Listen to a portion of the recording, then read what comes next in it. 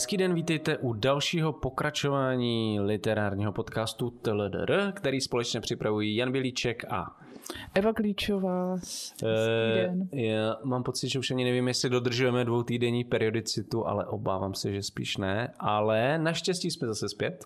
Hodně nás totiž prosíte v různých um, konverzacích, abychom tu dvou, to dvoutýdenní tempo udrželi a my se budeme teda jako opravdu hodně snažit, uh, ale momentálně je to trošku náročné.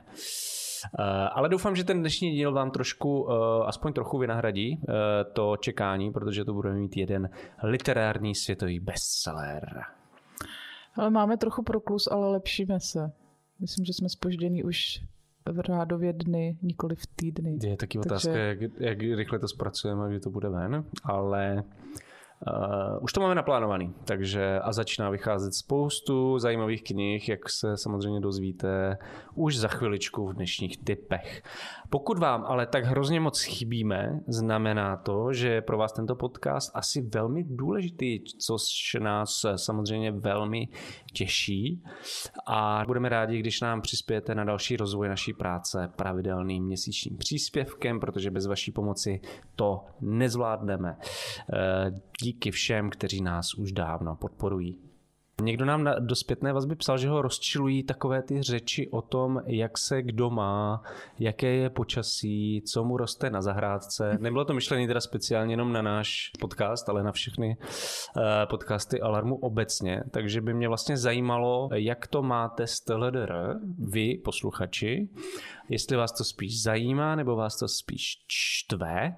A pokud máte nějaký jasný názor, tak nám klidně napište na e-mail tldr.deníkalarm.cz a my se rádi dozvíme, jak to máte. A možná teda pak to vynecháme některé detaily z našich mm, ano, přesně. barvitých životů Pokud, a komentáře k počasí a My si to vyhodnotíme a budeme se podle toho řídit s Evou.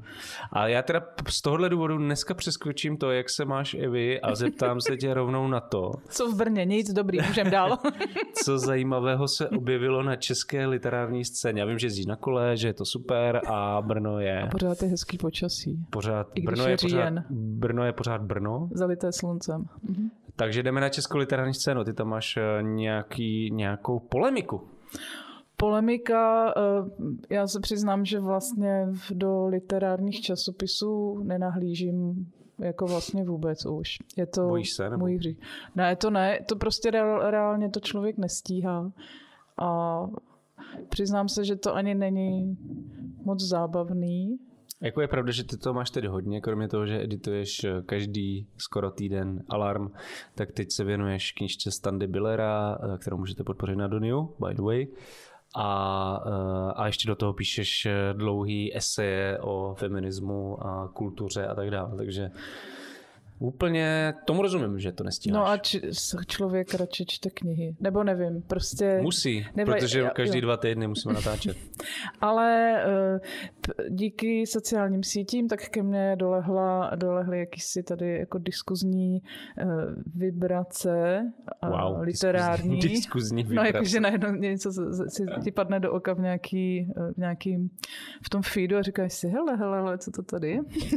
a já jsem co si to dopátrala uh, protože jsme slavili uh, stoleté výročí uh, Bretonova manifestu surrealismu. Tak webová stránka H7O, literární, tak udělala anketu mezi básníky, většinou asi mladší generace, jsem pochopila podle těch jmen, protože jsem většinou je neznala, kromě několika, tak si myslím, že jsou to mladí, které nestíhám sledovat. A odpovídali... Já ti nepomůžu, já to nečetl, takže... A odpovídali, ne, ne, to je jenom tak. A odpovídali, to jak to počasí, no, to taky tam bude někdo, že to nemám říkat, a tak, dobrý. Uh, ale byla tam, odpovídali, jak je jako vlastně surrealismus nějakým způsobem ovlivnili, jestli se k němu vztahují a tak dále. A uh, bylo to zajímavé, že se tam, tuším, dvakrát v té anketě objevilo spojení, že surrealismus otvírá eh, se jakoby, eh, tady budu radši citovat, básnířka Nela Haluzová, což je super jméno mimochodem, eh, cituji, jako jednohubky tohoto směru si vychutnávám queerness, radikálnost a motivy rozmělněné tělesnosti. Jo. V podobném duchu se, jako vlastně se to tam objevuje asi dvakrát. No a já jsem potom zareagoval, jak ne, jsem... Ale mně to přijde jako úplně, víš, jakože já jsem nečetl anketu, nevím, mm-hmm. co tam dopíše, ale přijde mi to jako naprosto samozřejmá věc, že tam queerness je důležitá součást. Eh, je to vlastně, já jsem pak jako nakonec eh, dala trošku zapravdu eh, hlavně nejpobouřenějšímu člověku, který tohle spojení jako queer, queerness nebo nějaký jiný genderový identity a serialismus jako odmítá a to je Jaromír Tippelt, básník a historik serialismu, eh, který, eh, který se, radši ho zase odcituje, ale on se vlastně stal takovým jako gatekeeperem serialismu, že on prostě popisuje v... Já si myslím, že to je analogon, ne, tý... ne typlt. No. no, tak oni asi ty analogonisti nejsou moc na Facebookách, takže to toho ne, zbylo no. tam jako na toho typlta. Takže on zůstal tím gatekeeperem serialismu, eh, který hlídá prostě tu čistotu a díky tomu se prý jakoby nějakou eh, kodifikaci toho eh, nějakou prostě ustanovenou podobu surrealismu a díky tomu prý přežil až do dnešních dnů a nerozpliznul se, což mu hrozí. Eh, odvolává se i na Švankmajera, Františka Drieho a další prostě lidi, kteří jako jsou jako takový jako ochránci nějaký jako stylový čistoty surrealismu nebo nějaký jeho toho, ty kanonovitosti a takový, takový nějaký jako představy. Zároveň uh, Typl upozorňuje na dobový, dobový reálie, jakože Breton byl, že se vyjadřoval jako velmi homofobně, že byli uh, třeba připouští, že básník René Kreve byl uh, homosexuálem, ale Typl se ptá, bylo to opravdu vítáno ve skupině, jo, uh, spekulace, upozorňuje na spekulace o to a jen, to jsme tady taky už řešili, že vlastně je to velmi, což si myslím, že je spíš argument pro mladé básnictvo. No, taky myslím. Než proti, jo, ale má tam takový, jakože upozorňuje na to, jak vlastně ta skupina byla vlastně dost taková jako měšťácká taky, že má takovou jako měšťáckou morálku trošku, že moc jako nebyli... Dobře, no. já si to s tím úplně nesu, což mi ne, nespojuju. No, ale... Což mi připadá jako vlastně eh, jako zaj... A je fakt, že ten, že Typl je na tom Facebooku opravdu takový jako až agresivní, vysmívá se serialiststvo, autorstvo, psavectvo, jo, je celý takový uh, vlastně několikrát jsem i zaregistrovala. Zahořklej. Zahořklej. Že mě no, že, že používá, že to je takový ten typ toho uvažování, kdy slovo progresivní považuje z, z nějakého důvodu za negativní. Plivanec. No, je to prostě, je, je to taky jako, je to opravdu taky jako překvapivý, jak se z takových jako neklidných básníků devadesátek, tady z toho liberálního vzedmutí vlastně stávají fakt takový zatrp, zatrpklí hlídači kolektivního pořádku a výkladu literární moderních dějin. Ty což... ale jakože hmm. radikálně levicový eh, kulturní surrealistický hnutí je najednou jakoby prototypem nišťácký morálky. Tehdejší době mně to přijde úplně, pardon, jakože možná tehdejší názory dnes by už asi neobstály, ale je to fakt jako 100 let, takže se není čemu divit. Je to tak, ale pět na tom jenom proto, že prostě Breton eh, se vymezoval vůči takzvané pederasty, jak se kdysi říkalo, tak to jako přece znamená co, jako že ta společnost byla přes lety samozřejmě jiná, měla nějaký jiný normy, standardy, moc si spoustu věcí si nedovedli představit, tak ale zároveň stejný, odšpuntovali prostě ob, jakoby obrovskou, že jo, a s odkazem na jako podvědomí je to takový skoro paradoxní, jo, že ve chvíli, kdy chceš jako připouštět, eh, že jo, oslavuješ imaginaci, podvědomí, hledáš ve snech, eh, že jo, otvíráš se že jo, tomu freudovskému obrovskému vlivu, jo, tak mně to připadá, že to je jako paradox, že jestli fakt byl takový jako... No, jako, že buď je to paradox, anebo je to lež. Někdo by to mohl rozsoudit samozřejmě. Druhá věc je, že třeba i ty, hmm. to, to, jak jako Breton a spol jako oceňovali třeba lidový umění africký a, a spol, škol a vlastně to nějakým způsobem integrovali do svých děl, tak by v dnešního pohledu hmm. vlastně mohlo být taky problematický, ale jako když má člověk nějaký zdravý kulturní apropriace. zdravý náhled, tak jako musí přece uznat, že, že v té době to znamenalo trošičku něco jiného. No rozhodně a mě vůbec jako to hlídání té čistoty v umění přijde úplně absurdní, jo. to je zákon eh, zániku, jo. že jako vlastně všechny ty izmy se spíš chovají jako nějaký živočích nebo nějaká živá hmota, která tím, jak se přizpůsobuje, vrací se ve vlnách, je znovu reformulovaná novejma generacema, něco z ní přežívá, je takhle jako funguje kultura v podstatě od doby, kdy popisujeme její dějiny a zkoumáme, takže mně připadá tohle eh, takový, taková úzkoprsost jako, eh, jako rozezlená na mladý básníky. Já bych byla jako někdo, kdo se celý život tím eh, jako seriálem zabývá jako ráda, že ty mladý to jako vůbec Jak zajímá. No, že, to, no že to prostě no je něco, co je dokáže pořád oslovat. Že vůbec nerozumím tady tomu strejcovskému ty náladě, která se prostě šíří nejenom v politice, ve společnosti, ale bohužel jako i v kultuře. Jo. Jako, jako, a pro mě třeba osobně i z míst, kde bych to třeba ani tak fakt nečekala. Jo. A vlastně je to najednou, eh, je to nějaká kult, taková kulturní manosféra stabilizovaná, která už se jenom brání před čímkoliv novým, mladým, kvír a tak dále. Hmm. Takže já bych, ať už je to, jak to je, tak já bych všem tady těm strážcům uh, nějakých prostě jako úzkoprsých názorů a jestli, jestli v serialistě byli takový homofobové, tak já jim to o to víc přeju, aby ten jejich jak odkaz říká, zvlčel v tenatech kví, queerness. Jak říká uh, legendární český básník uh, Vladimír Holan, co je bez chvění, není pevné, a to by se mohlo asi týkat i e, odkazu serialismu. Ježíš to řekl Husák přece. Ne. Nechť odpadne, čo je kolísavé. No, tak měli něco společného. Normali- normalizační, prostě. Začátek normalizace. Ano. No, Takže uh, Typl nám tady normalizuje serialismus. Děkujeme, naschledanou. Super. Tak, jdeme dál. Uh, a od posledního uh, zveřejnění našeho dílu o Emě Kaus se stala taky jedna tradičně přelomová věc a to je udělení Nobelovy ceny za literaturu, kterou letos dostala jeho korejská spisovatelka Han Kang. A já jsem to ještě ten den, tedy 10. října, komentoval živě pro českou televizi, což mi nechtěně připomněla eh, Eva Klíčová, když mi poslala odkaz na nějaký článek na české televizi, kde jsem zjistil, že tam vlastně jsem. Takže...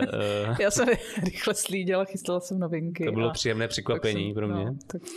A, a já vlastně se třeba o Hankang a jim, především jim románu Vegetariánka hodně zmiňuji ve své starší knize v Chapadlech murmurů opravdu jsem si skoro jistý, že tato kniha bude součástí nějakého novodobího literárního kánonu.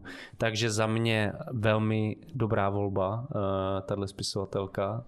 Uh, ta vegetariánka je vlastně zdánlivě docela nenápadná knížka o nějaký jako privátní spouře jeho korejské ženy, která začne odmítat konzumovat maso. Ze začátku je taková groteska, kdy se rodina snaží ženě různě to maso podsouvat, tlačit to do ní, pak jsou tam takové jako násilné scény a ta situace začíná radikalizovat a vlastně v druhé polovině se ten příběh přesouvá do takový spíš jako filozofické roviny o podstatě násilí, koloběhu viny a taky o nějakých možnostech, jak se z toho koloběhu vymanit. Je pravda, že ta to řešení hlavní postavy je do, hodně radikální v tom, že vlastně odmítne nakonec jak jíst rostlinnou stravu a nakonec i, i vodu, myslím, a, a nakonec umírá.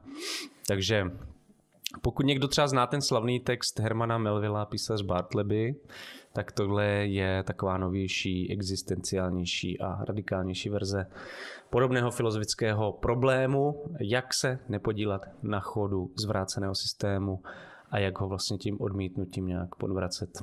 Dejme tomu. Může to být jedna z interpretací. Hmm. Zrovna je to jediná, jediný román uh, Han Kang, který jsem četla vegetariánka a já jsem si teda z toho ještě odnesla takovou tu dimenzi, jako že ti to tělo nepatří. Když jsi vdaná žena a očekává se, že budeš matka, hmm. tak vlastně ta rodina, manžel, prarodiče a tak dozorují prostě to, abys, jako, že máš vlastně jíst jenom proto, abys mohla porodit zase ten výhonek mm-hmm. té rodiny. Že to je vlastně takový jako naprostý znesvobodnění toho ženského těla, což je silně aktuální téma a přiznám se, že mě to velmi jako oslovilo tenkrát, že si tady ten motiv z toho nějak mě utkvěl. A já zase budu osobní, eh, sluníčko v Brně určitě i dneska svítí.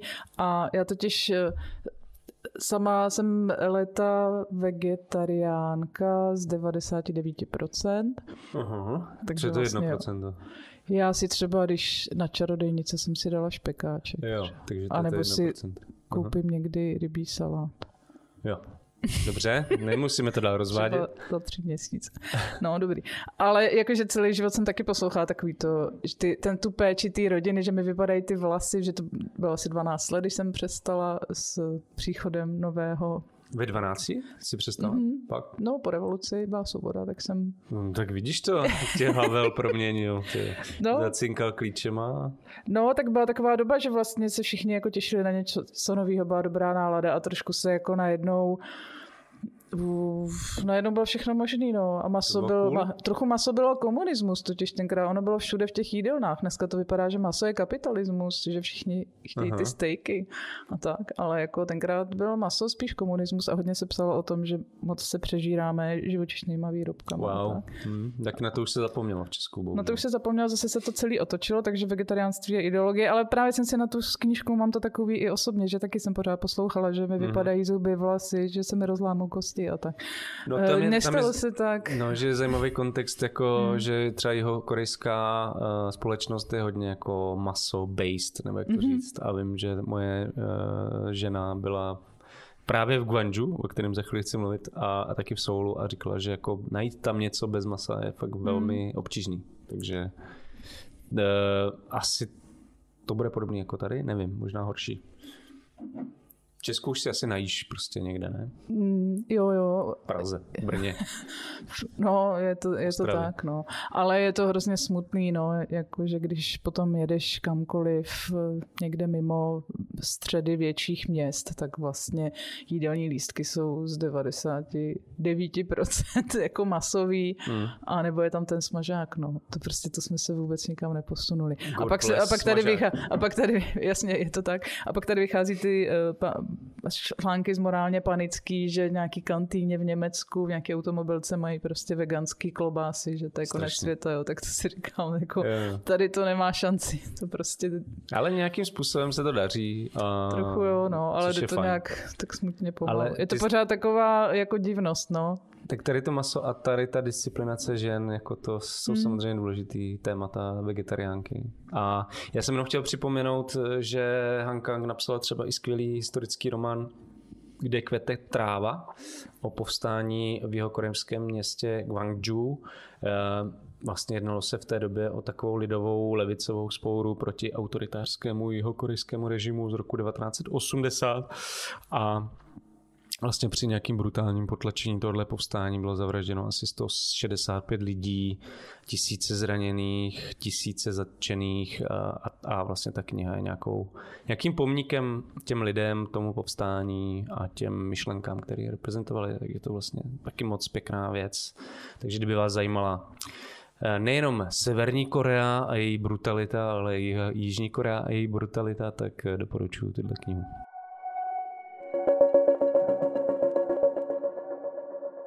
Dobrý, takže to bychom měli Nobelovku, máme vyřešený surrealismus a queerness a půjdeme na typy. Uh, mám začít? Můžeš začít. Klidně. Dobře, tak v nakladatelství Garamo vychází nový překlad francouzské spisovatelky Virginie Despentes, teorie King Konga. Virginie Despentes pravděpodobně znáte jako autorka Vernona Subutexe a i tentokrát ji do češtiny přeložila Petra Zikmundová. Teorie King Konga je kratší text, má to myslím asi 120 stran, eh, který nakladatelství Garamond označuje za v anotaci za anarcho-feministický manifest. A určitě půjde opět o text, který atakuje veškerá kliše a právě tu vzývanou měšťáckou morálku, kterou z nějakého důvodu pro třeba Jaromíra Typlta reprezentovali surrealisté což já se na to asi budu muset podívat, protože přijde neuvěřitelná tahle konstrukce. A hlavními tématy tohoto textu jsou prostituce, sexuální násilí, feminismus, ale taky třeba maskulinní hodnoty, takže by to mohlo být fakt zajímavý.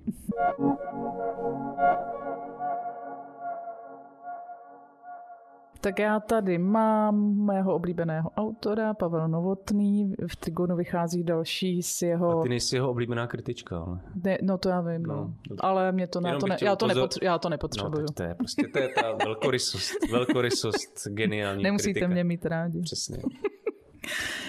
Stejně si přečtu vaše knihy. Smula.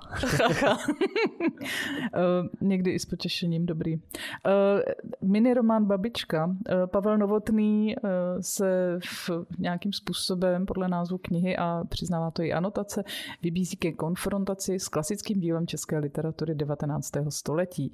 Nejde ale jenom o záměnu kulis, ale i o nějakou proměnu hodnot a literární stavbu. A Babička už tady není tou harmonizační instancí, ale tady stabilita se ukáže být jako pouhou iluzí. Já jenom při, při, připomenu, To že super. Pavel Novotný získal eh, Magnézii literu v roce 2020 za knihu Zápisky z Garzonky, eh, básnickou sbírku, která se vrací eh, do, nějaký, do dětství, do popisuje vztah s matkou a s prarodiči. Následuje dědek, kniha, jejíž název je dostatečně výmluvný a nyní tedy přichází babička. Takže Garsonka, dědek, babička. Dobře. Mhm. A je to pořád tedy vyrovnávání se s nějakou temnotou rodinou. To tady, Mhm. teda ta tradiční rodina dneska tady z toho nevychází dobře. Mhm. Jo, no, možná uh, její kritika byla na místě. I před stolety. Takže Pavel Novotný. Neplést, prosím, s jinými Pavly Novotnými. tak. A vy jste říkal babička, dědeč, dědek, Dědek. tak já tady mám jedináčka. Mm. Uh, malé, nezávislé a hodně zajímavé nakladatelství Incipit vydává knihu Jedináček mexické spisovatelky Guadalupe Netel. Uh, tato kniha se v roce 2023 dostala do užšího výběru prestižní mezinárodní Bookerovy ceny, což je pro mě osobně samo o sobě slušné doporučení. Vlastně ty knížky uh, z Man Bookera mám většinou hodně rád. A Kromě toho by ta kniha mohla zaujmout e, i svým tématem, protože opět trochu z jiného úhlu, ty jsi o tom mluvila trochu, e, ty jsi o tom mluvila předtím taky, zkoumá fenomén mateřství, rodičovství, péče, potřeby vytváření si nějakých širších mezilidských vazeb pro potřeby moderního rodičovství a moderních e, vztahů. A mohl by to být můj nějaký soukromý tip na nějakou nenápadnou literární bombu.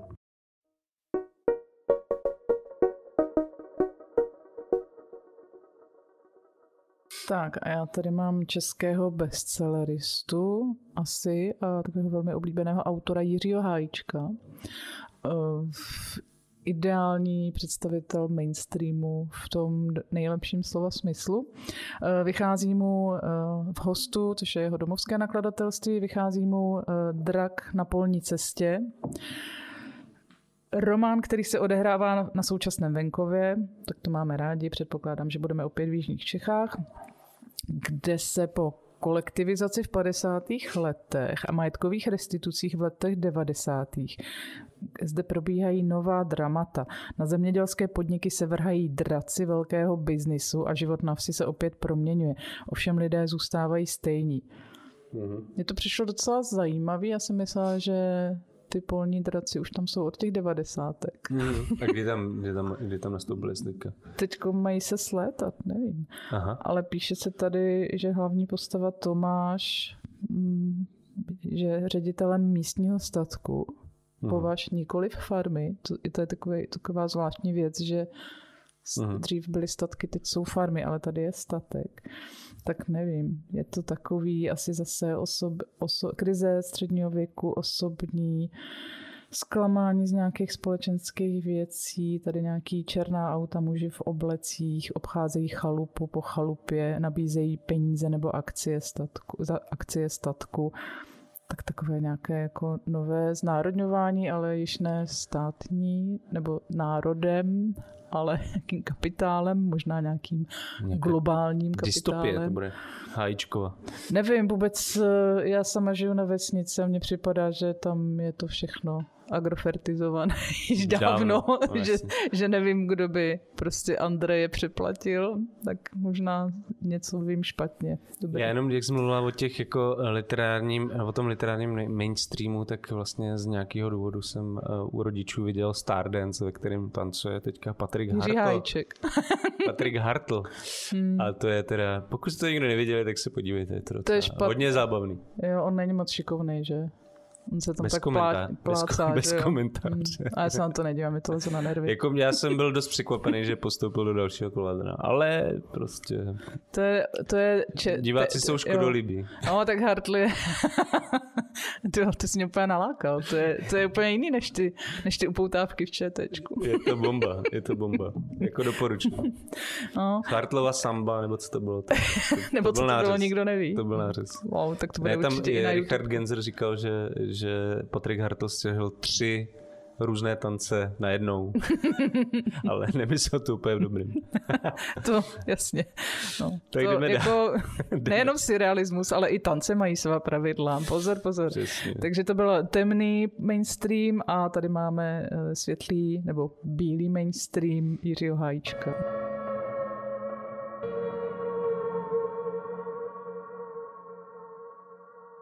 Pokud si pamatujete eh, náš díl Teledr věnovaný dánské spisovatelce Tove Ditlevsen a její kodaňské trilogii, tak pro vás mám dobrou zprávu, protože v nakladatelství Host vychází nový překlad jejího románu. Tentokrát nejde o autofikční, ale fikční vyprávění a Jedná se o román s názvem Tváře. Vypadá to na zcela šílenou story, opět z domácnosti jedné spisovatelky a matky tří dětí, kterou podvádí a psychicky týrá její manžel. A Lise Mun- Mundusová eh, postupně propadá do spirály duševní nemoci. Takže opět krásné, příjemné čtení z Kodaně. Tak a já tady uh, přiložím na hromádku oblíbeného tématu, asi než žánru, eh, čili deklinismu a různým historickým a nonfikčním úvahám o koncích civilizací. Velice, Kolapsologie. kolapsologie, ano, velice jako oblíbené eh, v Čechách. To, to popularizují především eh, figury jako Vondruška nebo známý Bárta. Eg- egyptolog Bárta. Eh, Tentokrát půjde o knihu, která vyjde v Argu v překladu eh, Marka Tomečka. Autorem je Peter.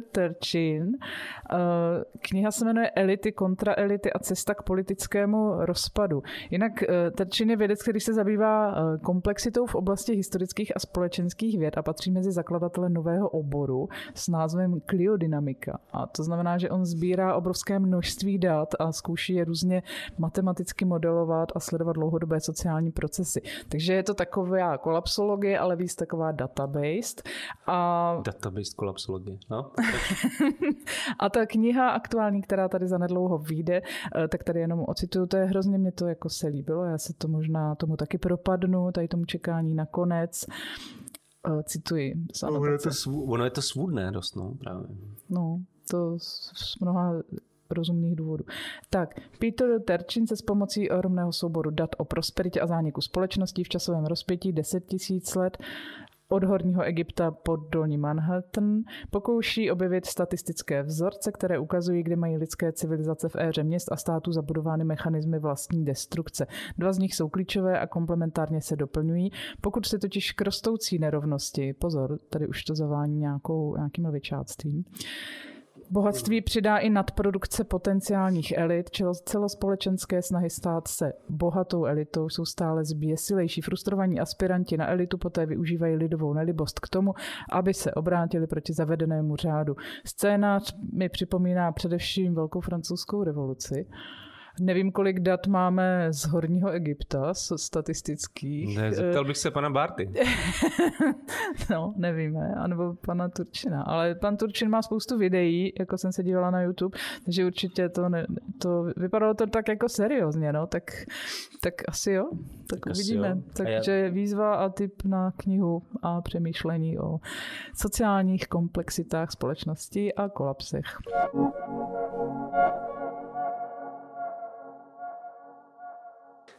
A v pasece vychází prozaický debit básníka Junáše Zbořila s názvem Flora.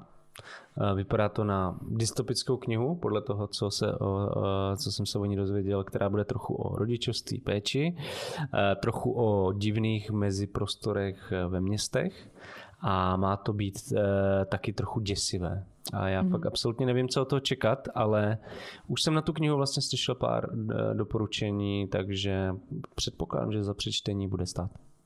Já jsem včera byla na uh, Promiň Sašo křtu knihy našeho kolegy Karla Veselého Hudba srdce, kde se jako v kuloárech byli i někteří naši fanoušci, které zdravíme, nebo posluchači.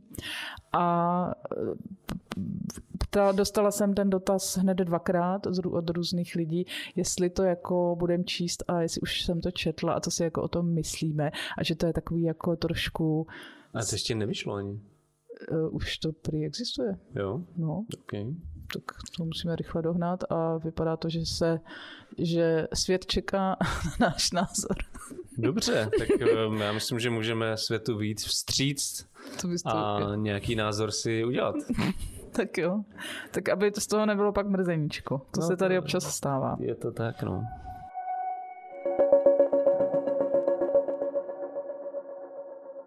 Lze vůbec žít někde, kde není možné ani překročit cestu?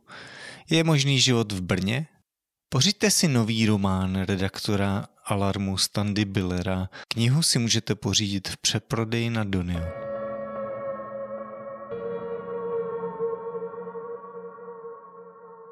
Pojďme na tu eh, hlavní část eh, našeho dnešního dílu, protože jsme si pro vás připravili celosvětový literární hit, o kterém momentálně diskutuje kde kdo. Eh, a novou knihu totiž na konci září vydala irská spisovatelka Sally Rooney a ten skoro 500 stránkový román se jmenuje Intermezzo.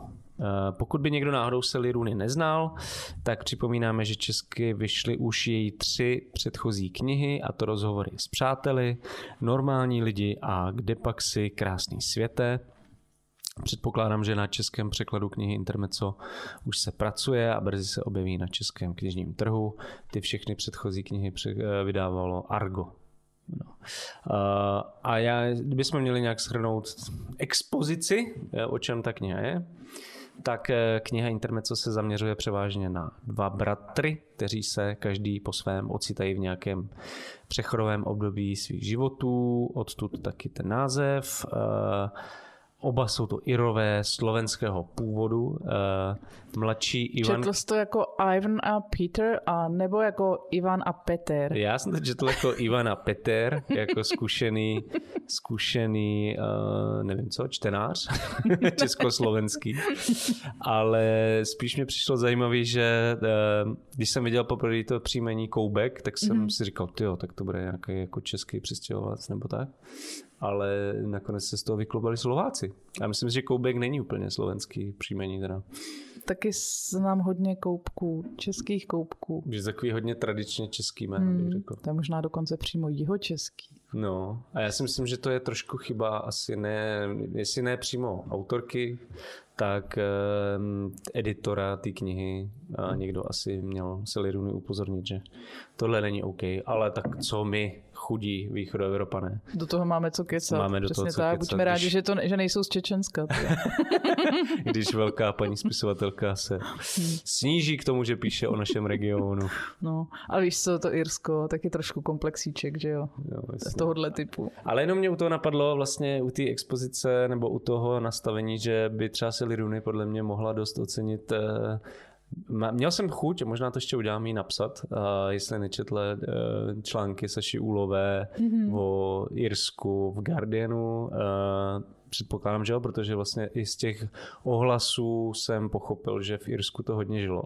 Eh, objevila se tam nějaká kauza v souvislosti s tím hotelem, který Saša jako popisovala. A nevím, jestli to nějak dopadlo nebo ne. A pochybuju, že levicově zaměřená autorka, která o sobě uh, hovoří jako, že je marxistka, si tenhle článek nepřečetla. Takže uh, myslím, že si ji určitě líbil. A ona má trošku, ne, já jsem teda, nevím, jestli máš přečtenou Seliruny komplet jako Hankang. Jo, mám. Máš. Mm. No a já jsem teda četla jenom normální lidi a tam je vlastně nějaká československá stopa taky, že oni tam potom jedou ten Konel uh, pak jede na nějak přes prázdniny na nějaký tady přes nějakého studenta. Jsou v Itálii někde. Mm, ale, ale jsou právě i v, v Praze. myslím, že jsou v Praze a že se tam, že tam nebo jedou přes Česko a jedou, myslím, si do Budapešti přes Bratislavu, Vídeň, nějak se pohybují no, tady. prostě kosmopolitní tom, Evro, Evro, Evropané. No, takže Sally Rooney, ona má takový jako československý tam, takový jemný Aha. jako šťouchy,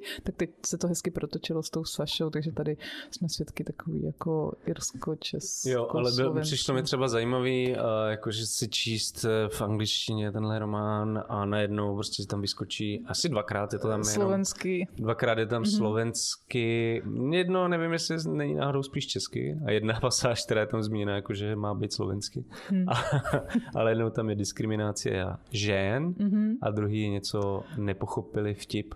No. něco takového. Což a to jsem nevím, vlastně... Se, já nevím, možná to slovensky stejně jako česky. No mě to vlastně, já nevím, já si ani nevybavuju, že by v té knižce byla poznámka pod čarou, že to tam je úplně třeba mimo kontext. Ne, ne že to ne. je takový jenom takový. Jako angličani si ne... Takový tam problikne jenom prostě Angličani nechápou. Dvousloví, no, Angličani nechápou. Ale což no. taky souvisí s tím stylem, hmm. který možná budeme asi rozebírat později, ale vlastně ona se, a když jsem četl některé recenze i v britském tisku, tak se hodně odkazují na Joyce, a na jako jeho Dubliniany a na Odyssea a že vlastně ten styl, který je speciálně podle mě spojený s Petrem, s tím starším mm-hmm. bratrem, Joyce. jako je ovlivněný jako vlastně stream of consciousness, jak se to říká česky? Proud vědomí. Proud vědomí. Uh, Jamese Joyce a jako nerozlišuje se tam mezi mm-hmm. di, jako tím, co říkají mezi sebou ty postavy, co říká uh, ten, co si myslí vlastně ta postava vnitřně a co jsou popisy vypravěcky, že to je vlastně... Já jsem si to Joyceovství v tom, uh, já jsem na to přišla sama, bez těch... Wow. já jsem poslouchala pak nějaký podcasty a recenze jsem ne, nevstíhala už si přečíst, ale uh, mně to přišlo v tom až obsesivním popisu různých jako detailů, třeba při stolování, nebo jo, takový to, ty věci, ty předměty, které tě obklopujou. A ty řekl, takový že ten, u ní často, mm, jakože fakt ve všech těch knihách. Takový ty gesta, napil se vody, polknul, něco naznačil, ona nevěděla, zeptala se vážně, jak to myslí. Jakože takový hodně jo. zpomalený, deskriptivní Aha. způsob psaní. To myslím, že prostě jakoby... čiš, jako realismus, jakoby, mm. oh, není to, nemá to, nebojte se, nemá to 700 stran. Skoro. jako je to dlouhý, ale je to, je to trošku to směřuje tady tím, tady tím eh, jako maximalismem realistickým, no. Takovou. No eh, a ona vlastně i na konci je, eh, je seznam jako věcí, které cituje v tom textu, je jich mm. docela hodně a samozřejmě James Joyce je tam taky a kromě Jamesa Joyce, Joyce tam hraje důležitou roli Wittgenstein, protože jedna z těch, dejme tomu, jeden z těch důvodů je, že třeba Ivan Koubek je, um, ten mladší bratr je hodně racionální, introvertní člověk, který miluje šachy a má nějaký problém se socializovat a hodně tam řeší nějaké ekologické úlohy uh, a uh, prostě hodně má vlastně tak jako logicky strukturovaný vnímání hmm. světa. Zasekne se na skládání židlí. Ano, ano, to je vlastně ale první, velmi, první velmi scéna. dobrá expozice. A myslím, že je tam přímo identifikovaný, že má Aspergera nebo že je na nějakém autistickém to, spektru. To říká o myslím, ten že, bratr právě. Že to tam... Jako, že ten bratr o něm říká, že, jako, hmm. že je autista a jako, že neví, jestli je v pohodě ho tak hmm. oslovovat a ta Sylvie, myslím, která hmm. se s ním o tom baví, což je jeho bývalá přítelkyně, ta říká, že to je v pohodě, pokud má, je, má skutečně diagnostikovaný autismus a jinak to v pohodě není. Takže já vlastně nevím, co si z toho odníst, ale je to určitě hmm. speciální člověk. A ten jeho starší bratr naopak vlastně... Je to vyso, přinejmenším je to, nebo dost pravděpodobně, vysoce funkční autista. Vysoce funkční autista a jeho, eh, je zajímavé, že tam jsou takové jakoby binární opozice.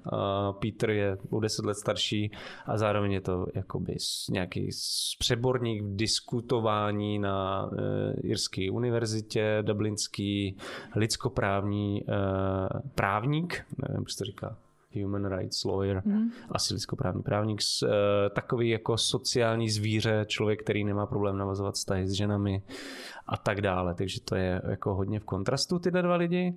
Zároveň jim teda umřel, umřel nedávno otec, oni truchlí a uh, do toho navazují nějaký nový uh, mezilidský a partnerský vztahy.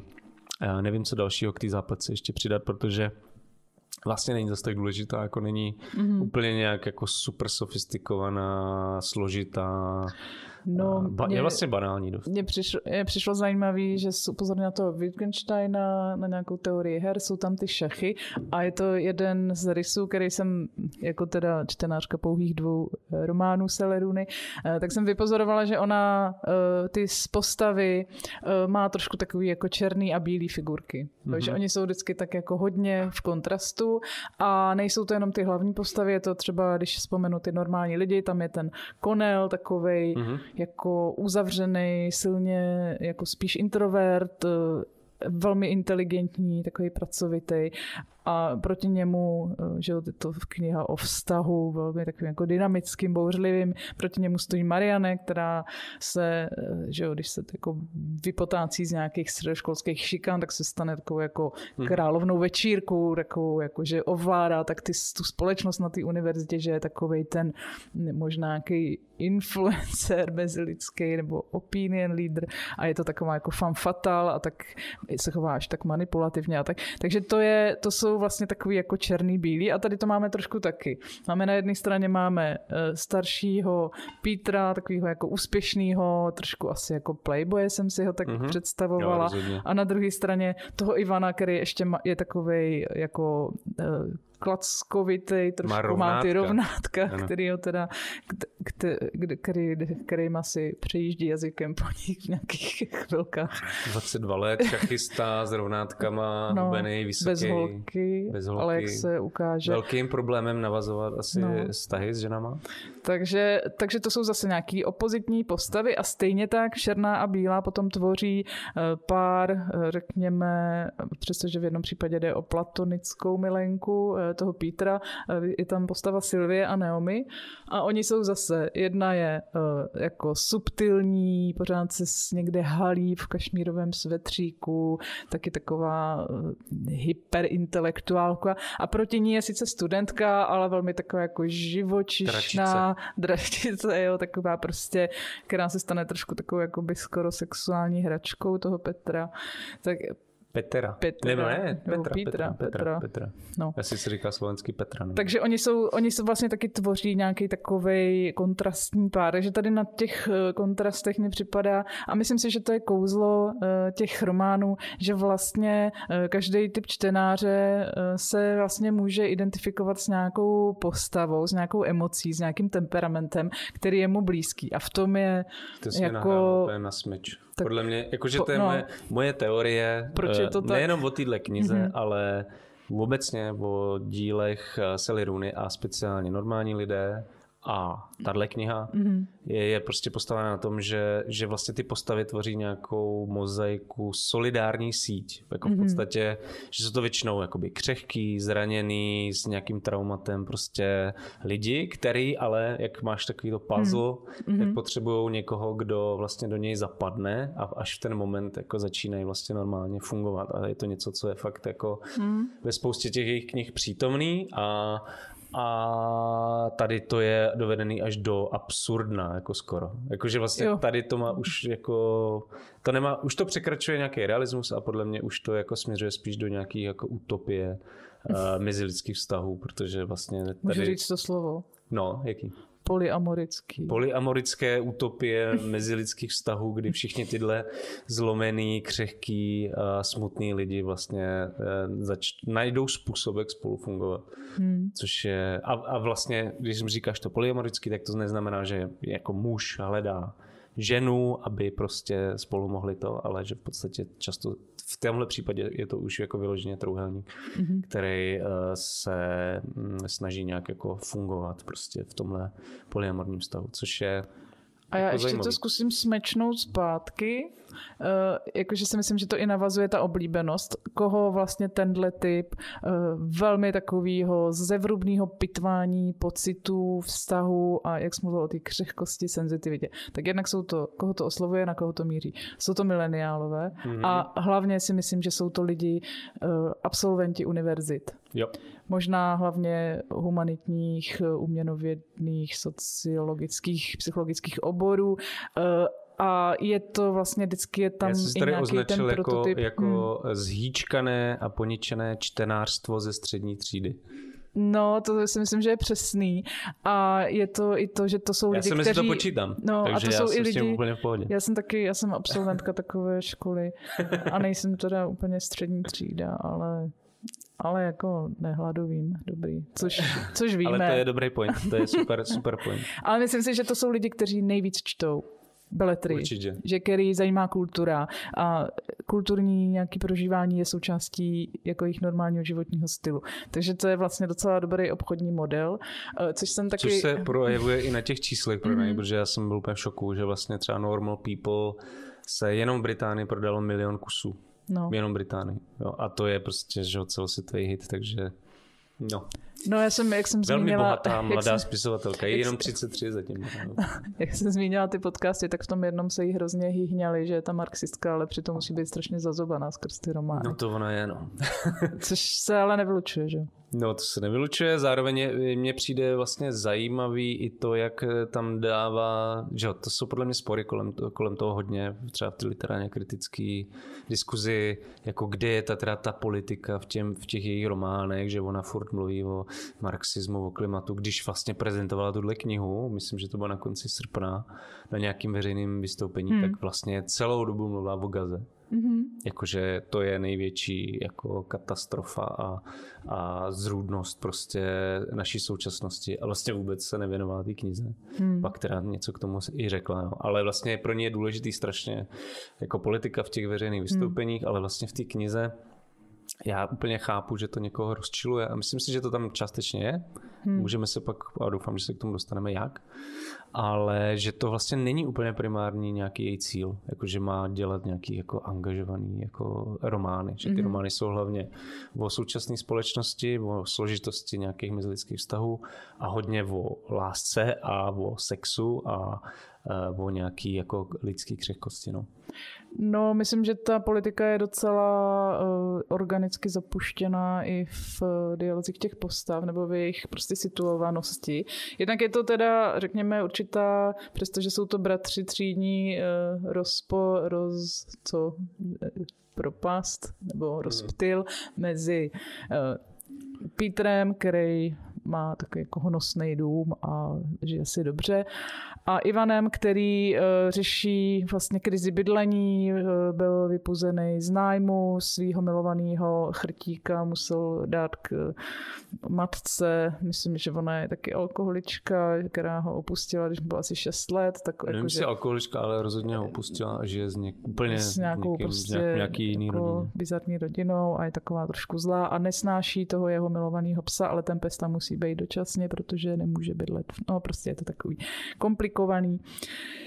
Bojí se třeba, je tam situace, že jdou spolu na večeři a on má obavy, jestli vůbec na to bude mít na tu večeři, protože ten Ivan, protože ten Petr ho vezme prostě do nějaký jako Nobel restaurace, tak jsou tam takový, jako že se to, je to pořád téma, ale hlavně, a to mi přišla hrozně zajímavá taková situace nebo úvaha nebo replika většinou, ta kniha se sestává v podstatě ze, ze sledu ve převážně interiérových scén, kde spolu mluví dva lidi, Mhm. což mi přijde taky, takový jako zajímavý, taky jednoduchý. A myslím, že, že tam jsou jako... Že Tak čas- hra o trůny, tam no, taky že, většinou. Že se často mluví z, té perspekty, z perspektivy Petra, Ivana a ty Margaret. Mhm. A vlastně nikdo jiný. A ty ostatní jsou jakoby od, z, z nějakého nadhledu, ty, ty další postavy, no, Jo. vizově obrazovaný. Ale vrátím se tam k tomu, že eh, ty peníze jsou ten exploatační substancí, ale jakoby obousměrnou, že se, že je vlastně vykořišťovaný nejenom ten, kdo eh, jako dává ty peníze, ale i ten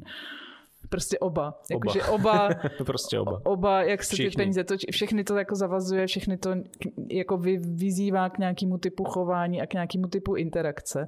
Takže ona tam prostě i potom mluví, nebo se to tak popisuje, že jako, že money, sex, emotions, že jsou to prostě nějaký jakoby mazivo mezi těma lidskýma Mhm. mm-hmm. prostě interakcemi. Je to fakt takový jako zajímavý a ty peníze tam zajímavě vstupujou. Je tam i vysvětlování eh, třeba tý Margaret, která dělá někde v nějakém nezisku, že v nějakém kulturním Jo. domě se stará o program, tak Na ona prostě, no, městě. no, někde prostě ve Vidlákově, není z toho Dublinu, navíc ani.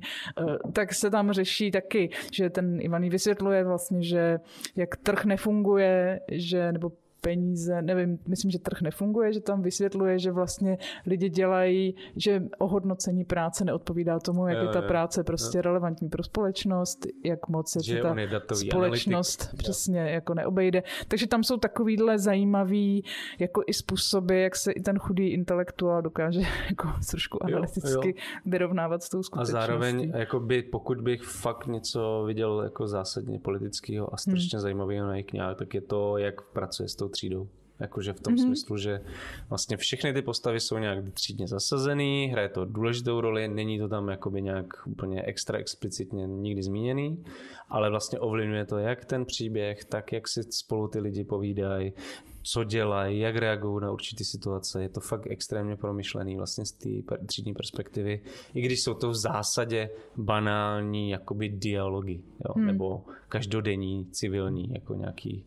Já jsem si vzpomněla na toho Petra Terčina z těch typů literárních, kde on tam popisuje, že ten přetlak těch aspirantů na ty elity může způsobit ten rozpad té civilizace. Tady to je vlastně vidět mm-hmm. úplně explicitně, protože uh, ty chudí, ať už je to ten konel v normálních jo. lidech, nebo uh, je, to, uh, je to tady ten Ivan, tak oni jsou zároveň že jo, velice těsně té střední třídy, jsou to jejich jo. příbuzní, kamarádi, spolužáci. Ta škola trošku nabízí nějaký jako transfer do vyšších pater, ale je to od samcať pod samcať. Uh, zároveň uh, mají ten kulturní a intelekt kulturní, takový jako sociální kapitál. Uvědomují si, že jsou v nižším postavení, že ty prostředky nejsou spravedlivě distribuované.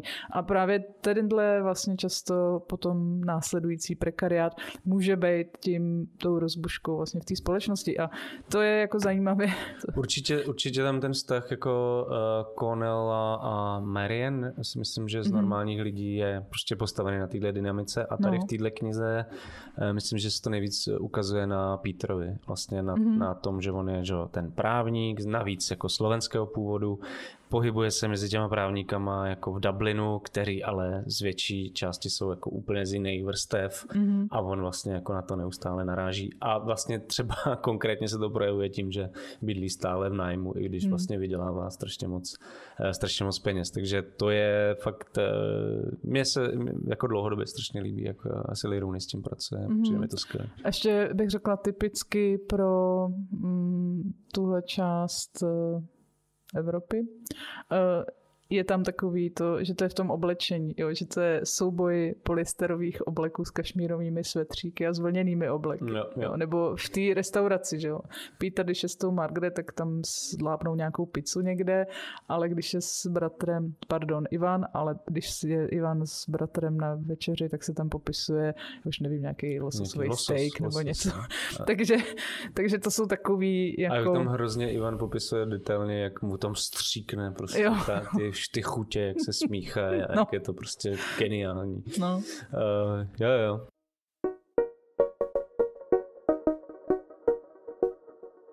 Mě totiž, jakoby já, když nad tím takhle přemýšlím, chtěl jsem tím začít vůbec, tady tu mm-hmm. diskuzi, ale vlastně nevím, jestli dojdeme k nějakému závěru. Tak mě prostě fascinuje, uh, proč uh, vlastně ta její tvorba vzbuzuje tolik negativních emocí. Jestli na to máš nějaký jakoby názor, jakože mm. já se fakt uh, setkávám třeba, myslím, že to bylo v Timesech britských, vyšla, vyšla recenze uh, pět hvězdiček z pěti a druhá byla trash, absolutní trash. Mm.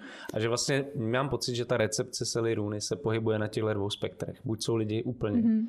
udvařený z těch knih, protože se nějak napojila na něco, co oni jako sami řeší, anebo řeknou, to je úplně jako romantický červená knihovna, sentimentální nuda, román, prostě, prostě no. blábolení nějakých zhýčkaných Ža- no. Já se, já jako mám na to teorii a jeden z těch zmíněných podcastů, tam se ty, byly to samé ženy, o tom hádali a ty argu, a já jsem vlastně docela se přiznám, jako rozuměla tomu odmítnutí té knihy, mm-hmm. že vlastně kdo je ta Margaret, jak je to moc uvěřitelný, proč by si 630-letá dospělá žena začínala s klukem, takovým mm-hmm. nejistým, že, který má ještě nějaký, že, jí při, že jim přišel, jí přišel třeba nedůvěryhodný i ten, Ivan, že on je teda jako Asperger nebo někde na tom spektru, ale zároveň uh, tam ta situace, kdy on t- lidově řečeno zbalí tu Margaret, je vlastně zvláštní, protože uh, celý ten klub, on, ten uh, Ivan, tak on dělá takový ty, uh, ty že dělá tu simultánku s těma deseti hráčema mm-hmm. někde na té vesnici, uh, je tam za tu hvězdu, on všechny jako že jo, zvítězí nad všema a pak se jde kolektivně do hospody. A jsou to samý chlapy, kromě tam nějaký holčičky náctiletý. A jim se hrozně ta Margaret líbí, že jako to atraktivní, jako krásná žena, já nevím, jak ty šachisti vypadají, ale ona je tam vyloženě taková ta královna mezi těma muži, jdou do té hospody, ale on jí vlastně osloví ten jako skoro teenager ještě. No, jo, oni tam takový... zůstanou spolu sedět, no, že? jako sami. No, ale hned si už jako rozumí, je to takový, ale že ona je tam vyloženě ne nějaká chudinka, že na sebe jakoby zbydou dva, dva takový jako odstrkovaný, uh, méně úspěšný mm-hmm. v mhm. nějakém partnerském lovu, ale ona je tam vyloženě za takovou jako no trofejní určitě. prostě ženu a on přesto, že, že je takový jako trošku uměle nastavený, třeba jo. tohle, jo? že to jsou, že ty, jak jsme mluvili o té polarizaci těch postav, těch černých, bílejch, o nějaký prostě kontrastu povahovým a temperamentním a třídním, eh, tak se to může vypadat fakt až tak mechanicky a ne úplně věrohodně. A tady si myslím, že i v tom ději to trošku vlastně skončí takovou jako polyamorickou sentimentální utopii, že to, že to je no. možná něco, co někoho jo. jako dráždí a pak si ještě myslím, že to je to a s tím mám i já problém, jenom abych se neodkazovala na jiný kritický jako názory. Uh, někdy to je hrozně jako čtenářsky, mně to přijde umorný. Pročítat vlastně dlouhý takový jako ty složitý uh, situace, takový plný zámal nějakých nepochopení a vysvětlování a ujišťování se, uh, vlastně se tam nic neděje. Ta situace je vlastně, a tady je to, ta situace je vlastně skoro po celou dobu románu jako víceméně ho, jenom velmi v nuancích proměnlivá. Mm-hmm. jako, že to jako je trošku nudný. A může to na někoho působit tak jako hypersenzitivně, tak jako až banálně, jo, že to je prostě jakoby o ničem, že jsou to jenom ty rozhovory s přáteli, jenom ty normální lidi. Tady dokonce nějaký intermezzo, takže se tam jako nic neděje. Mm-hmm. vlastně, jo, že to si myslím, že tam tomu chybí taková nějaká jako literární akčnost a taky jako, nevím, taková víc taková nabubřelost. Ono je to vlastně takový hrozně jako skromný, takový jako nevýbojný, no. Jo. Jako no, něčem. chápu. A já myslím, jakoby hmm. tu pod utopii jako naprosto pod, eh, podtrhu, eh, hmm. tu nerea, vlastně něčem je to extrémně realistický, mm. uh, odkazuje se často, že jo, sama Sally na, na nějaký jako klasická, klasická díla 19. století, Jane Austen, sestry Bronteovi a tak dále. Dokonce zmiňovala tady Dostojevského, mm. ale v něčem to zároveň je hrozně nereálný, utopický a myslím si, že to je částečně asi důvod, proč to ty lidi uh, hodně oslovuje. V tom mm. smyslu, že jako takový svět sice neznáme nebo v něm nežijem, mm. ale možná by bylo lepší v něm žít, nebo že vlastně ty lidi, který podle mě často odpovídá ta jejich reálná zkušenost prožitkům těch mm. postav, takže ji tady najednou jako Selina ukazuje, že je možný najít prostě nějaký model fungování v tom, aby, aby našli jako štěstí v tom, nepřátelským a prostě hostilním světě. Jo. Takže hmm. a, a, jako ta výtka toho, že ten, ta zápletka je úplně absurdní a takhle jako postupně zaklikává do sebe a, a jako vede k úplně absurdně happy endovému konci, tak to jako naprosto chápu. Hmm. A jakoby kdybych, já jsem vždycky byl jako samozřejmě cynický čtenář a takovýmhle věcem jsem se smál, ale mám pocit, že jako se Liruny se to nějak daří vždycky se skládat, takže mě to Na druhou prostě stranu zasáhne. i ty odkazy na literární předobrazy do 19. nebo možná i 18. století, jo, který se spojují s Salinuny a mě to třeba ještě připomnělo jako v pohádku pohádku Máje od Viléma Mrštíka, což je taky mm-hmm. víc jak stoletý text, kde se prostě takhle zevrubně uh, jako popisuje to tápání dvou mladých lidí, kteří nemají moc zkušenosti se vztahama, teď nějak se jako přibližují něco, něco.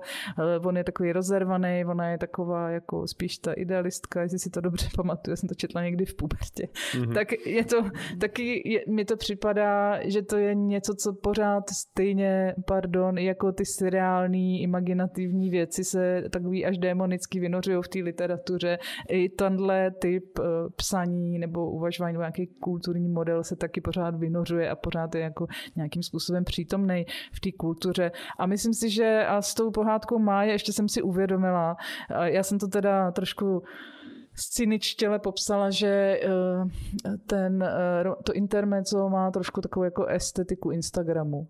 Že tam se hrozně, jak je to, odehrává se to na podzim a je tam jo. velmi často popisovaná Prší. taková ta melancholická uh, nálada prostě irská, taková jakoby, věc, něčím jako, až taková jako schematická, předvídatelná. Irsko je strašně vizuálně jakoby zajímavý a no. hodí se k těm kašmírovým světlíkům. No k tomu ano, že to je taková, jako že to je takový balíček nějaký nějakých eh, jako věcí, že to dáš dohromady a máš z toho tu pohlednici jako reklamu na Irsko nebo Instagramový no obrázek. právě proto, to, jakoby, myslím si, že to samotný potrhuje tu, no. utopičnost celého toho příběhu. No ale zároveň vlastně jak sentimentální román nebo ten mrštík, tak tam to spojení, nebo dělá to romantismus, to spojení jako nějakýho citu pro přírodní krásy a vnímavosti k přírodě je spojená s nějakou lidskou emocí mm-hmm. a s láskou. To je taky jako nějaký stabilní v, jako spojení v té kultuře. Tak tady to vlastně jaký funguje. Zase jo, to je něco, totálně. co prostě no, ne, na sebe... momentě to je vtipný, že no. ty říkala, že to jsou jakoby ty dialogy v interiérech, hmm. ale v momentě, kdy se něco vlastně stane a ty lidi jdou ven, mm-hmm. tak najednou, najednou to počasí jako je vlastně strašně v korespondenci s tím jejich mm-hmm. jako vnitřním stavem. No, ale i když mží, tak mží jako, že mají stříbro z těch kapek jako na vlasech, na oblečení, to jo, tak už nevím přesně ten detail. Je tam jedno potom uh, scéna taková, že se Ivan s tou Margaret uh, jdou vykoupat k moři někdy uprostřed října v Irsku, takže musí být úplně zmrzlý jako modrý, ale je to taky popisovaný uh, jako strašně uh, působivě, jak ty šedostříbrný nebo zelenošedá barva, jako kdyby zelenošedá barva byla nejnádhernější barva na světě, jo, to taková vojácká prostě.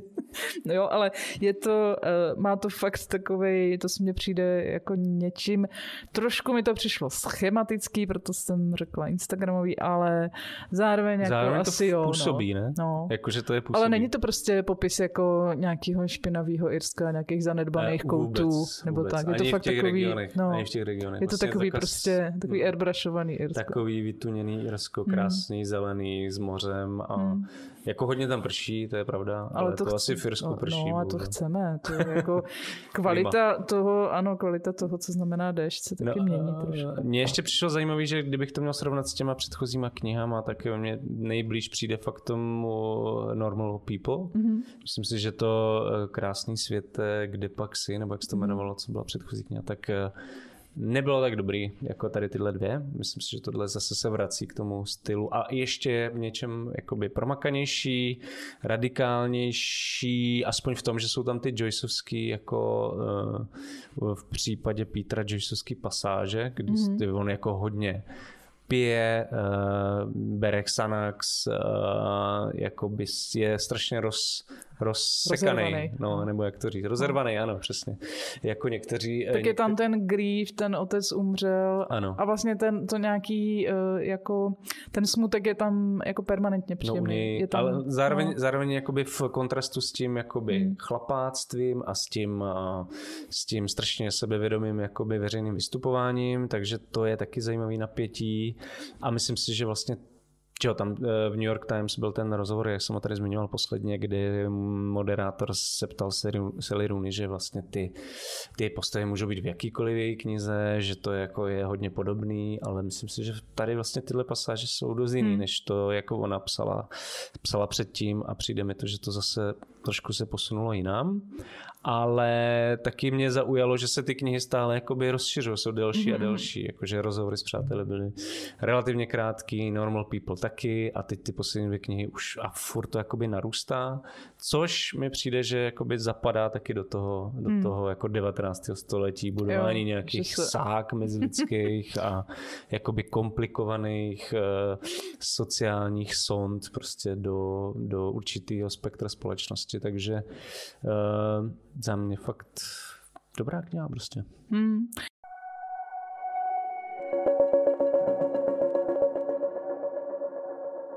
Já ještě možná poslední věc, to trošku na tady, už míříme tak k nějakému celkovému zhrnutí, ale já jsem si ještě říkala, že stojí možná za to zmínit ten zajímavý uh, age gap mezi tím, když si, když Peter má o mnoho let mladší milenku Naomi, tak je mm-hmm. to něco, co je jako jakýmsi jo. společenským standardem, ale když se to stane naopak, a najde si 20-letý kluk Ivan, tak si najde, nebo 22 je mu, já nevím, a najde si tu Margaret, která je teda stará, protože je jí neuvěřitelných 36 let. Mm-hmm, o dva než mě. Nevadí. A, a o víc než 10 let. No, nebudem to rozebírat. Dobře. Je strašně stará prostě. No, prostě je, je ano, úplně odepsaná ze sňatkového trhu. A uh, najednou ten uh, Peter, když to glosuje poprvé, když se to dozví, že teda jeho mladší bratr Ivan má takovou jako známost, tak on jí úplně On tu Margaret z ní udělal úplně jí, jako z, z ní dělá skoro nějakou záludnou, jo. jako úchylnou prostě osobu nenormální, takovou patologizuje jí a má pocit, že ona se zmocní toho nebo jeho ještě dítěte, že ten 20-letý muž nebo 22-letý muž je najednou ještě dítě, když to Naomi s, tý, s tou si vůbec jako ne, neláme hlavu, jak co prožívá Naomi. No a co je super na ty knize, podle mě, nebo na Silly hmm. Rooney, těžko říct, kdo za to jako nese zodpovědnost je Silly Rooney, takže vlastně tam pak dochází k nějakému, jako že Peter si samozřejmě uvědomí, že je v hodně podobném vztahu jako ten jeho hmm. bratr a že vlastně, když mluvil o tom, že je to záludná nějaká žena, která ho chce zneužít, takže vlastně mluví sám o sobě mm-hmm. a mhm. že má pochybnosti, jestli takhle nezneužívá vlastně to Naomi. Naomi. Jo, takže se to tam jakoby zase vrátí a to mi přijde fakt eh, super, tady tyhle jako no. zvraty, který vlastně právě na, vznikají z těch dialogů. Jo? No. Že vlastně, vlastně na to, že to je takový nudný sentimentální cajdánek, tak je tam vlastně docela dost jako heavy témat. No, je tam úplně mega a hodně uh, heavy témat. A, a, a ještě jsem chtěl říct hmm. k, na, na, naposledy k tomu 19. století, že, že tak prostě v Jane Austenový a, a tak dále vlastně hraje strašně důležitou roli třeba nějaký třídní rozdíl, že jsou to jako tabu, hmm. že tenhle člověk z tyhle vrstvy nemůže chodit s, s člověkem ano. z vyšší.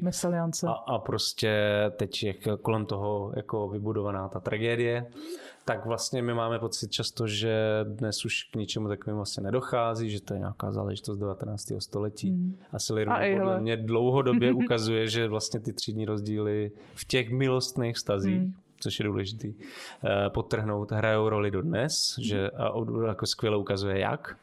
A tady nově podle mě přináší jako nějaký nový tabu a to je právě ten vztah jako mladšího muže s, s o 14 let starší ženou na malém městě popisuje jakoby, co ty lidi prožívají, jak na to reaguje ta společnost. Vlastně m, mm, trošku jakoby se v těchto momentech člověk ocitl v tom 19. století. No. Je to tak. A poslední věc, trošku kritická, ale ne moc. Mm-hmm. Uh, že mám pocit, že se Sally Rooney nechala trošku ukolibat tím, že kritika vlastně hodně často oceňovala ty sexuální scény a, že, a ty vyobrazení intimních scén, takže v nové knize je těch scén fakt strašně moc, jako skoro na každý, někdo to myslím počítal, jako že každých 50 stran, možná i míň, jako je nějaký, nějaká sexuální scéna.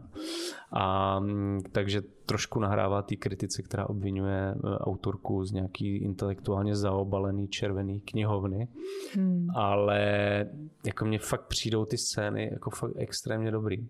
Takže já e, proti tomu nic nemám. Je pravda, že to je typ scén, který když je blbě napsaný, tak to člověk je u toho až brr. No, A to ale tady to jako ne, nenastane, Vůbec no. nenastává, že? jo? No. Vůbec nenastává. Já ne, jenom chci říct, že většinu těch knih jako jsem četl v angličtině a vůbec nechci hodnotit ten Hmm. jako český překlad. Možná, že třeba to jako pře, přeložený nějak šíleně v český, v český verzi, ale v té angličtině jako já, mně to přijde úplně vlastně Taky jsem neměla OK. žádný, žádný divno pocity u toho. Žádný rybičky. Takový, no, je, ale taky jsem si na to vzpomněla. No. Ale máme tady anketu, kterou převzal časopis Reflex. Zalistujte do archivu nich čísel do Jo. soutěže nebo ankety o nej, Jestli tam nej, nejhorší, český překlad. se- nejhorší uh, sexuální scéna v literatuře. Na to narážíme tady. Uh, já jsem četla normální lidi v češtině a eh, není strašný ten překlad, to ne, ale místem mi přišel takový jako neobratný. Ale já Jako, jsem že četl, myslím, snad to- rozhovory s Hmm. přáteli v češtině jedinou věc a to mě, jakoby, ta knižka obecně podle mě je nejslabší mm. od celé runy. A, na druhou, a druhá věc je, že jsem to četl, četl v češtině a působilo to na mě fakt zvláštně. Hmm. Jakože moc mě to nebavilo. Tak jako trošku to drhlo, no, není to úplně, a i některé reálie mě tam překvapovaly, protože jak jsem naraz, nara, narážela tady na ty uh, textilní materiály, které se tam jako jsou součástí charakteristiky postav a tak, že, jo, co nosí a tak, tak tam byly nějaké takové jako blbosti, nevím, Mhm. no, škoda. Taková, Ale nejsme samozřejmě experti na No, ale tak zase ty mileniálové, anglicky. oni to hodně budou číst A oni to anglicky. čtou jako já. Já jsem si dal jenom na, na Instač něco, nějakou tu slovenskou větu ze Seliruny a napsal mi strašně moc Hmm. mladých eh, čtenářů a čtenářek především, že už to mají přečtený. No, takže prostě- jsme úplně pozdě. vyšlo to ani ne. Vyšlo to dneska, dneska 24. října, takže to vyšlo přesně před měsícem. No. No, a už No, prostě strašně moc všude. našich čtenářů a fa- fanoušků už to Tak myslím, že jsme na to i tady, že je zřejmé z toho, že jsme se tady odkazovali na spoustu recenzí a podcastů a všeho, tak prostě už je to vlastně starý. No. A tak já myslím, že tahle kniha asi bude opět světovým bestsellerem. Jako, není to rozhodně úkrok stranou, žádná jako nekvalitní věc, naopak si myslím, že fakt se řadí mezi vůbec ty nejlepší knihy, které se Liruny napsala. Možná vůbec ta nejlepší. Normální no. lidé a tohle, za Mhm. mě. Okay. Tak já jsem intuitivně přeskočila ty slabší kusy, tak se k tomu nebudu vracet. Dobře, jdeme dál. Ne, počkej si na další knížku. Jo. Ona píše strašně, strašným tempem. Ale ono potom, eh, tam už je prostě takový ten zákon, že když už seš nahoře v té literatuře, jak ty lidi jako chtějí něco číst a někdy často neví co v té záplavě, tak když už seš nahoře, tak to bys to musel hodně podělat, aby si jako spadl dolů. Takže prostě ty fronty na nový vydání, to je jak když se čeká na Apple, prostě novej u No, obchodu, tak se čeká na Seliruny. Je to tak. To je prostě trošku smutný, trošku smutný, Možná jsou to stejný lidi v těch frontách, trošku stejný mileniálové. Ano, ano, trošku smutný přirovnání, ale jako Apple prostě současné literatury jako dost sedí jak k atmosféře týdle, No. knihy, tak eh, k tvorbě Seliruny a hlavně k jejímu postavení v současné literatuře. Je to tak. Hustý. Tak jo, Dobře, tak eh, my už k tomu asi nic dalšího nemáme. něco necháme taky pro vás, ať si v tom můžete najít nějaký svůj Jo. špek. Doufám, že jsme zase něco zásadního neprozradili. Eh, Občas se nám to stává a za to se strašně Hmm. omlouváme. Musíte, tak já nevím, no, nejdřív přečíst knížku, pak to komparovat s podcastem. Ale já myslím, že nějaký, Nebo když jste jako já, tak to stejně zapomenete. jako nějaký vyložení asi spoilery tam snad ne, nebyly. No. No, Ale tak- jako trošku jsme mluvili o tom, kam to směřuje ten příběh. Mhm. Ale můžete spekulovat, jak se, jak se na šachovnici figurky se skupí. to jsme neřekli. Tak, přesně tak. Uh, to už je ale teda pro dnešek z podcastu Tolerer všechno. Pokud nás máte rádi, chtěli byste naši práci podpořit, podívejte se do sekce Podpořte nás na stránkách deníku alarm.cz. A děkujeme všem, kteří mezi naše podporovatele a podporovatelky už dávno patří. Pak bez vás bychom nemohli tady natáčet a existovat. Nemohli jsme nic. A teď už je asi jenom čas rozloučit. Takže Jan Bilíček se loučí. Eva Klíčová, mějte se hezky. Děkujeme za přízeň, která mě nepřestává dojímat. Je to Zvláště, úžasný. když dočítám poslední minuty před nahráváním. Ano, je to naše velká motivace nesklamat vás, takže díky moc. A budeme se těšit, doufám, za dva týdny. Uh, teďka už máme vybraný tady, dneska jsme zmínili pár titulů, který, do kterých bychom se chtěli pustit, Mhm. takže můžeme začít číst rovnou. Ne? Je to tak, můžeme, no. Super, díky moc, mějte se skvěle. Ahoj. Mějte se hezky a brzy naslyšenou.